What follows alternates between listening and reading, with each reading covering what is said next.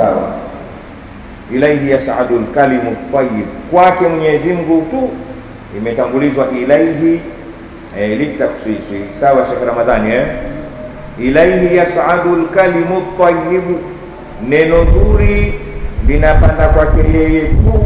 Walamalu salihu yarfauhu, na tendo jema linalinyanyua lile neno zuri. Mwenyezi Mungu atujalie ni katika wenye kusema alkalimu tayyib. Wanachuoni wanakwambia hii ilaihi yasadu alkalimu tayyib. Alkalimu tayyib hapa, kila neno zuri, kila neno kila neno zuri, hata haya tunayosema hapa upanda kwa Mwenyezi Mungu Subhanahu wa Ta'ala, kila neno lenye kuelekeza uzuri eh? mawaidha, msamaha, elimu, kuchangia, kusaidia watu, yaani neno linalotoka linalolenga uh, uzuri katika yale anayoyaamini anayoyaagiza Mwenyezi Mungu Subhanahu wa Ta'ala, maneno yale yote yanakwenda kwa Mwenyezi. Lakini wanasema kubwa lao alkalimu tayyib, alkalimu tayyib ni neno la ilaha illa Allah Muhammadu. Neno hili ukilisema linapanda moja kwa moja kwa Mwenyezi Mungu, lakini linataka lifti, linataka lifti yake alamalu saleh, neno na nitendo jema. Unaweza ukawa mwingi wa la ilaha illa Allah Muhammadu rasulullah, lakini ikapanda ikafika pahala ikashindwa kufika kwa Mwenyezi Mungu Subhanahu wa Ta'ala, kwa sababu huna matendo mazuri. Ngoja apite hapa, nikae kidogo hapa, nikakaa kidogo. Wengi alhamdulillah, tunashukuru ni wenye kusema la ilaha illa Allah. Muhammadu, takriban sote. Lakini wengi alhamdulillah, maneno mazuri tunayo. Majumbani, mabarabarani, maofisini, misikitini, kwa maneno mazuri tena. Mungu ameyapamba kwa fasaha alizotujalia, tunasema maneno mazuri yanaonekana kabisa na yanayosikika lakini kuna hatari maneno haya tusiyakute kwa Mwenyezi Mungu Subhanahu wa Ta'ala. Mwenyezi Mungu atukinge na hayo, kwa sababu tu ya uchache wa matendo yetu mazuri.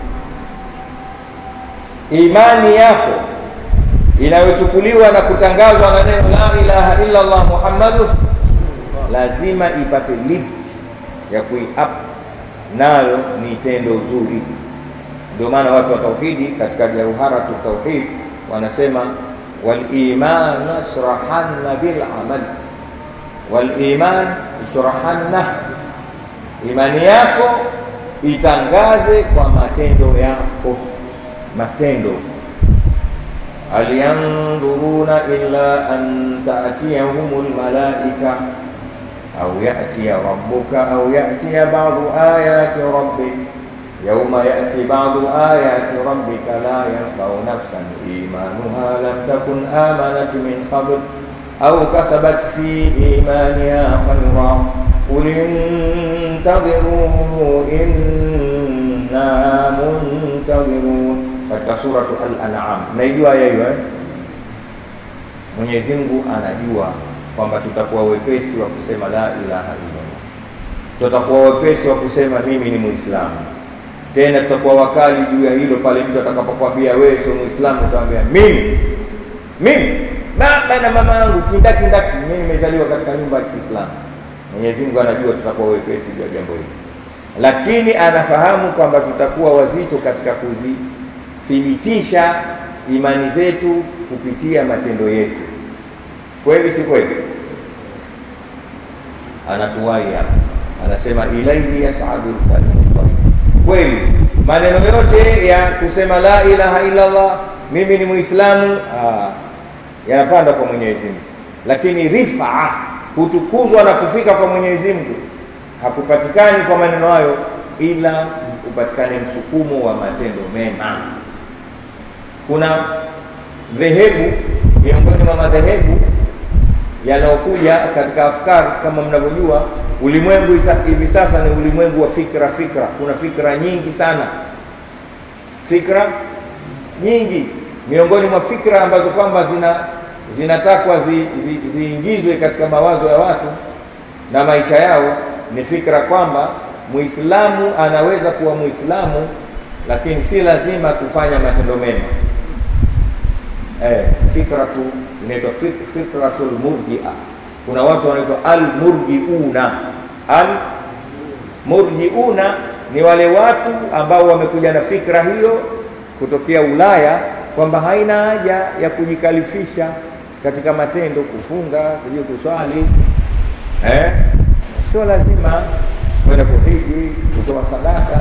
Inakutosha wewe ukisema la ilaha illa Allah Muhammadu, na ushahidi wao mkubwa, man kana akhiru kalamihi la ilaha illa Allah dakhala aljanna. Unaweza kukutana nao watu hao, yule mtu ambaye kwamba neno lake la mwisho likiwa la ilaha illa Allah ataingia peponi. Huo ndio ushahidi wanaotoa. Kwa maana hiyo, wewe wewe ng'ania la ilaha illa Allah, una swali swali, unapoteza wakati bwana. Eh, la ilaha illa Allah inakutosha? Hapana, Mwenyezi Mungu hapa anakataa. La ilaha illa Allah yako inathibitishwa na matendo yako. Ndio maana nikasema nakaa kidogo. Wengi sisi tuna maisha hayo, wallahi ni Waislamu na twaupenda Uislamu wetu, lakini ni wavivu katika matendo, si ibada wala katika muamala. Matendo ya mwanadamu wa Kiislamu yamegawanyika sehemu mbili. Kuna matendo yanaitwa al-ibadati na kuna matendo yanaitwa muamalati. Humo mote unatakiwa wewe uishi na la ilaha illa Allah. Matendo ya ibadati nini? Ni hizi ibada zetu, kuswali swala tano, kuhiji, kutoa zaka, eh? Hayo matendo yanaitwa alibadati. Watu wengi hawaswali bwana, wengi na wanachukua poa tu, kwani lazima kuswali bwana nini? Anakaa hataki kuswali. Hakuna, hakuna, hakuna Uislamu usiokuwa na swala, hakuna nini, hakuna hakuna simile, hakuna simile kwamba tutatafuta neno moja kidogo angalau litamsaidia mtu asioswali. Nakwambia ni ukweli, wa Islamu. watu wa potoni wataulizwa maasalaka kumfi kitu gani kinakutieni peponi? Watasemaje?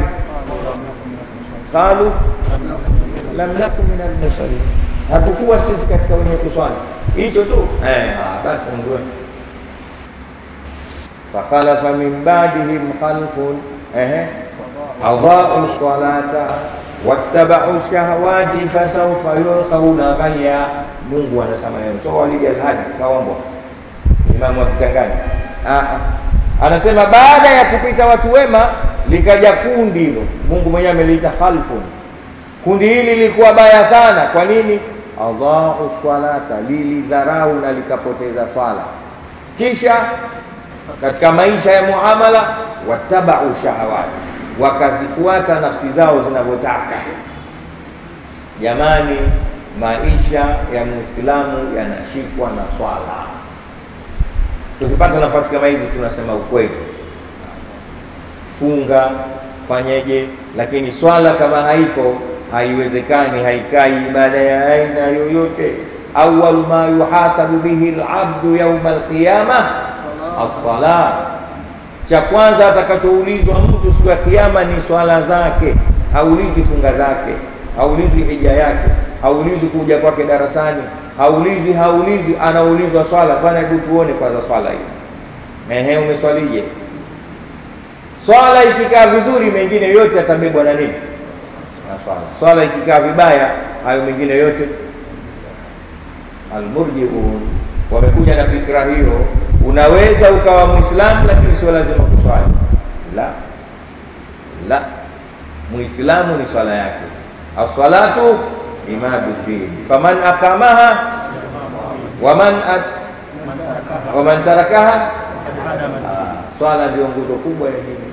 Swala ndio nguzo kubwa, mwenye kusimamisha swala. Ndio maana imetamkwa neno kusimamisha. Unajua maana yake? Kuswali kila siku, ndio maana kusimamisha. Mwenyezi Mungu ametumia vocabulary ya Kiyama, kusimamisha, kuswali kila mwenye kuswali kila siku ndiyo ameusimamisha Uislamu, na mwenye kuswali kwa kujaribu jaribu na kuiangusha huyo ndio ameuangusha Uislamu na ameupinga, hata kama hakuvaa msalaba. Huyo ndio mpinzani wa kwanza wa Uislamu. Jamani, tunaelewana? Majumba yetu yagubikwe ya, ya, ya na swala. Mtume Muhammad sallallahu alaihi wasallam ana, ana, ana, tunaelezewa na mkewe namna alivyokuwa mama Aisha radhiallahu ta'ala anha wa ardhaha, anasema kunna maa rasulillahi sallallahu alaihi wasallam, tulikuwa sie twaishi na mtume sallallahu alaihi wasallam maisha mazuri sana, maisha mepesi. Yuhadithuna, anaongea na sisi, wanuhadithu, na sisi tunaongea naye. Mtume sallallahu alaihi wasallam hakuwa na uso msusuwavu kwamba akiingia nyumbani watu wote wanasema ataondoka saa ngapi, na akiwa yuko nje hakuwa hata huyu bwana asirudi. Mtume sallallahu alaihi wasallam ni vile alivyotajwa katika Qur'ani, fabima rahmatin min Allahi linta lahum walau kunta faddan ghalidha alqalbi lamfaddu min hawlik, lamfaddu Mtume watu hawakumkimbia, walimkimbilia bwana mkubwa. Mswalieni Mtume Muhammad. Na wewe jitahidi ukimbiliwe kuwa na, na lini na nini? Lini lini, kwamba uwe na tabia, watu wote wanapenda kukaa na wewe. Uwe utakavyokuwa, lakini penda watu wakae nana basi. Mtume alikuwa hivyo sallallahu alaihi wasallam, alfa salati alfa salamin alayhi. Anasema mama Aisha, tulikuwa naye huyu yuhadithuna anaongea na sisi sasa, story kabisa, tupiga naye bwana, vipi? Mtume alikuwa anaongea na watuhadithu, na sisi kama tuna yetu tunamhadithia. Hatukuogopa kumhadithia Mtume sallallahu alaihi wasallam kwa namna alivyokuwa mwepesi. Yetu twamhadithia, yetu twamwambia, na yake anatuambia. Wayudhikuna, na sometime alikuwa anatuchekesha, ilikuwa anatupa stori tunacheka wanudhihikuhu na sisi kunafika wakati tunamchekesha pamoja na utume wake. Wewe unachekeshwa kweli?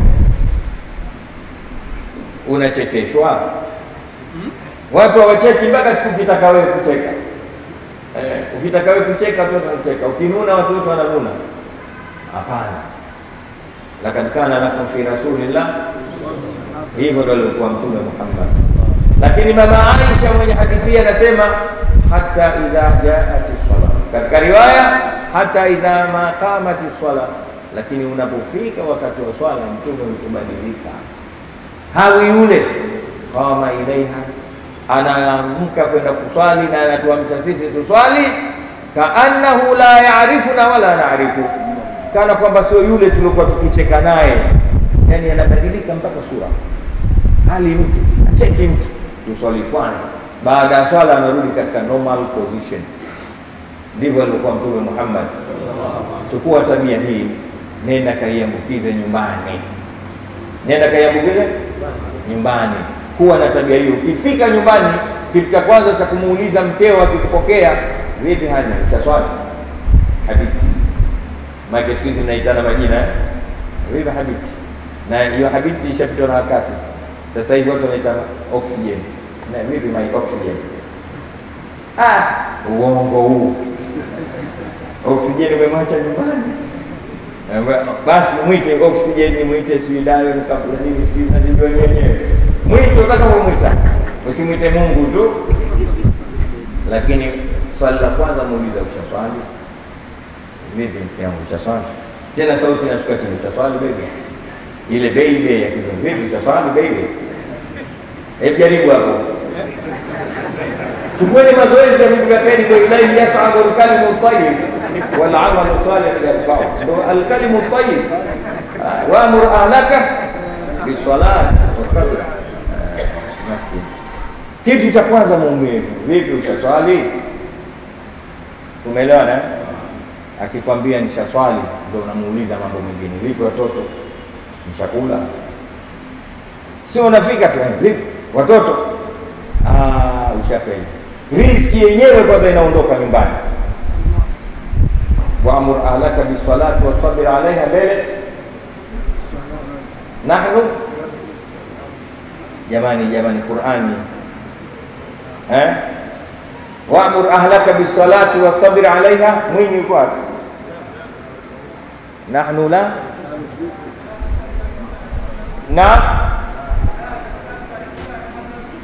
Aywa, nahnu la nasaluka rizqa, waamrishe watu wako kuswali, hatutokutia tabu kukuuliza katika mambo ya riziki, tutakuruzuku. Yani lile neno tu, wajanja wenzenu wameepesisha maisha yao kwa neno hilo tu. Akifika nyumbani, mkeo, vipi, utaswali mkeo? Hebu nenda kaswali basi. Kitendo hiki kinaleta riziki ndani ya manyumba, sijui mnanielewa? Kitendo hiki kwa aya hiyo niloisoma, usaswali? Ah, sijaswali. Hebu kaswali basi, tukae tuongee ongee. Akienda kuswali kwa amri yako, wallahi thumma wallah, riziki inakuwa nyepesi majumbani. Leo majumba yetu hayana riziki kwa sababu ya nini? Hapa swaliwi wala haiulizwi nyumba swali, vinaulizwa vitu vingine tu. Watoto hawajambo, vipi king'amuzi kimeisha, vipi bili ya taa, sijui. Ndio maswali yaliokuwa nyumbani.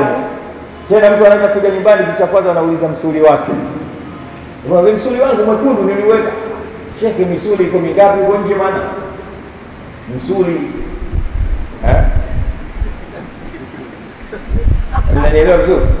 Yaani kaingia nyumbani, mtu anavurugika akili yake, anauliza kwa sababu yeye mtu wa pwani sana. Mimi niweka mke wangu msuli wangu. Shekhe, umerudi wewe nyumbani, akili yako msuli msuli swala. Ili mambo ya mazuri, semeni inshallah.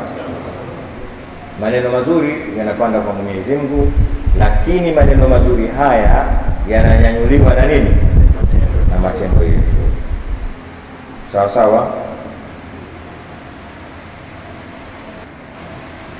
walladhina yamkuruna sayiat, na wale ambao wanafanya vitendo vya hila vya mambo mabaya, yani wale wanaofanya hila za mambo mabaya, lahum adhabun shadid, wana adhabu kali. Mwenyezi Mungu akunge na hayo.